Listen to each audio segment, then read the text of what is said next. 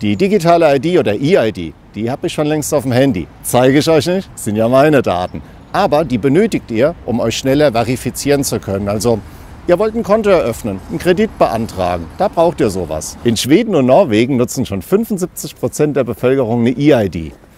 In Dänemark sind sogar 85 Prozent, die ihre Daten bei privaten Unternehmen hinterlegen. Ja, und in Lettland, da ist es vom Staat organisiert. Da sind es natürlich 100 Prozent, die eine EID haben. Wer sich schon länger mit dem Thema digitale Identität beschäftigt, ist das Startup Verimi. Die haben zu elf angefangen und sind jetzt schon 21 Partner. Das sind große Unternehmen, die beim Thema digitale Identität mitmischen wollen.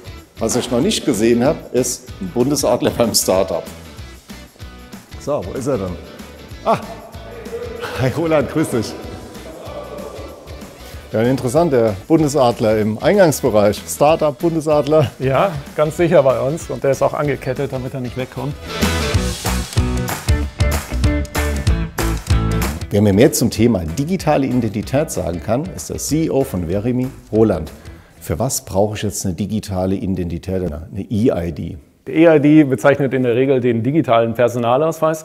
Digitale Identität geht nochmal darüber hinaus. Also wir verstehen darunter Personalausweis, Führerschein, Covid-Pass, aber auch viele weitere Dinge wie zum Beispiel Segelschein, Angelschein, äh, die verifizierte E-Mail-Adresse. All diese Dinge an einem digitalen Ort, sodass du das mit einem Klick benutzen kannst. Was kann ich genau damit machen? Du kannst es natürlich äh, einfach vorzeigen mit deinem Smartphone. Also der häufige Use Case, du hast einfach deinen Ausweis zu Hause liegen lassen, du musst ihn zeigen, dann ist schon mal ganz gut, dass du die Daten verifiziert in deinem Smartphone hast. Viel wichtiger ist aber für uns, äh, dass du das in digitalen Prozessen benutzen kannst. Also wenn du dich irgendwo identifizieren musst, dann musst du es häufig äh, per Videoident äh, heute machen oder musst zur Post gehen oder wenn du dich danach dann sicher einloggst.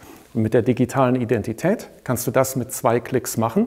Das ist einmal super effizient für dich als Kunden und für die Unternehmen ist es auch super effizient, weil die sparen Kosten und erhöhen natürlich ihre Conversion Rate, weil der Kunde ist mit zwei Klicks bei dem Angebot. Wodurch grenzt ihr euch ab? Wir bieten ähm, Identitäten auf ähm, relativ hohem Vertrauensniveau bis zu substanziell an. Moment, substanziell, das musst du mir jetzt noch mal erklären. Substanziell ist eine Klassifizierung, äh, das ist das zweithöchste Niveau, um dich zum Beispiel in der öffentlichen Verwaltung äh, zu identifizieren. Und dafür haben wir als einziges Unternehmen in Deutschland die Zulassung. Das heißt, insgesamt haben wir mal, sehr vertrauenswürdige Identitäten bei uns, dass du damit sogar mit zwei Klicks einfach ein Bankkonto eröffnen kannst. Bei uns ist alles ganz sicher.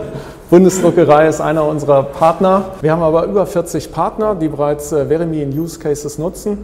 Und ja, ich äh, sehe es als Chance. Wir müssen einerseits die Dinge sehr sorgfältig machen. Ähm, da sind DAX-Konzerne, äh, das muss natürlich alles passen, was wir tun.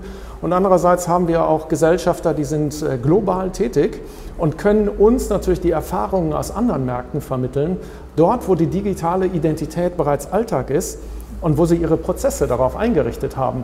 Zehn Prozent der Deutschen haben sich schon mit der digitalen Identität schon mal beschäftigt. Da ist doch noch viel mehr Platz nach oben. Was könnt ihr dafür tun und wann kommt denn jetzt der große Boost? Ja, wir arbeiten täglich an dem großen Boost.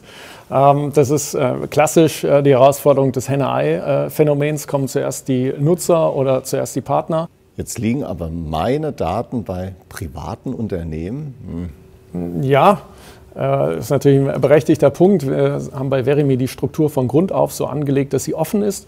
Offen auch im Sinne eines Public-Private Partnership. Die Bundesdruckerei ist ja schon bei uns beteiligt.